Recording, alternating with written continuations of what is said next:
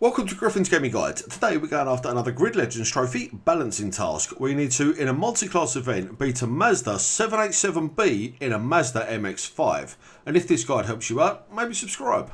So on the face of things, you kind of look at this trophy or achievement and be like, how the hell am I going to get a sports car to beat a Le Mans car? But fortunately, a new feature to Grid Legends is a multi-class event where you race around a track and any power benefit is negated by staggered starts. So with a new kind of handicap event comes a trophy or achievement to unlock. Now for this particular one, you are driving a MX-5 Cup car and you need to beat its bigger cousin, the Mazda 787B.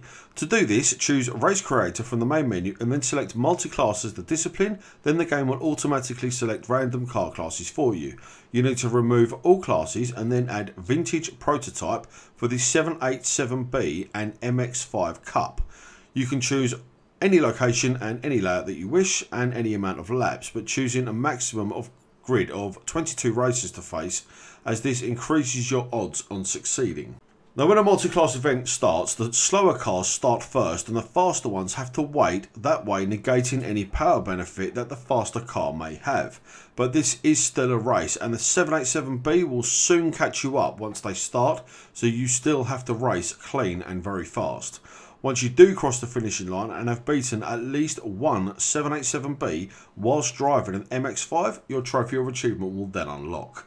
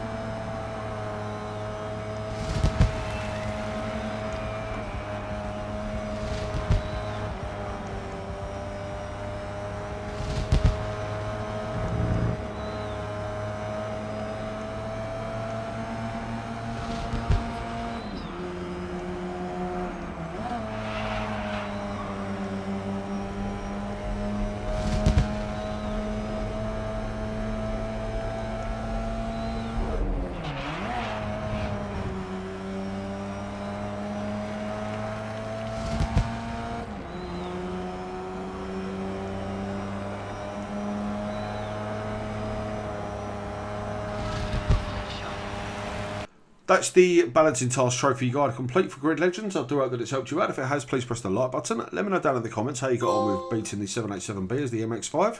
Also, once you're down there, you're going to find a little red button that says subscribe. Give that a click, then press the notification bell next to it. That way you won't miss out on any of our future uploads. You guys take care of yourselves, and we look forward to seeing you back here at Griffin's Gaming Guides.